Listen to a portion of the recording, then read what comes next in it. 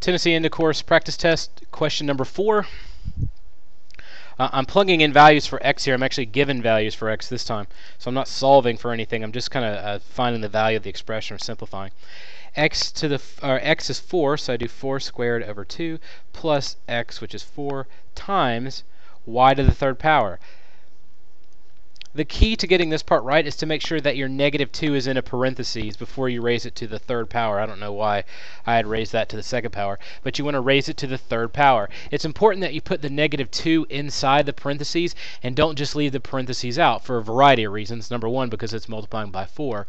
But the real reason is that if you were doing squared with uh, cubing it or to the third power, it doesn't really affect it as much. But when you square it, it is absolutely integral that you put the negative inside because your answer is going to give you a, positive if you do it this way because it would be negative 2 times negative 2.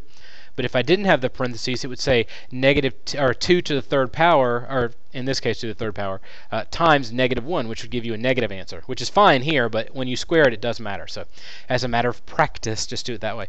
Uh, 4 squared is 16 over 2 uh, negative 2 to the third power is negative 8. So I do 16 divided by 2, which is 8, plus 4 times negative 8 is negative 32.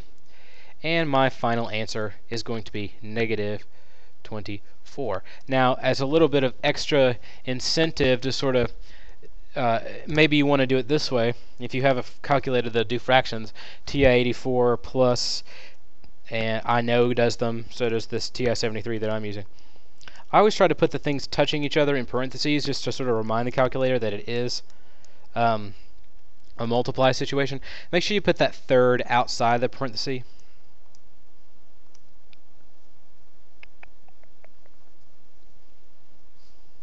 Oh, sorry, I hit x squared. I wasn't even thinking. Don't be stupid like me and look at it and see x squared there. Remember the x is 4. I was wondering why that didn't work. It's because I'm a doofus. There you go, 4 squared divided by 2 plus, parentheses before, close it out, negative 2 to the third power. Sorry about that, a little weird. Now it looks like it's supposed to. I'm going to hit enter, and I get negative 24, which is exactly the answer that I should get, and it's the answer I got there. So that's the answer to number 4.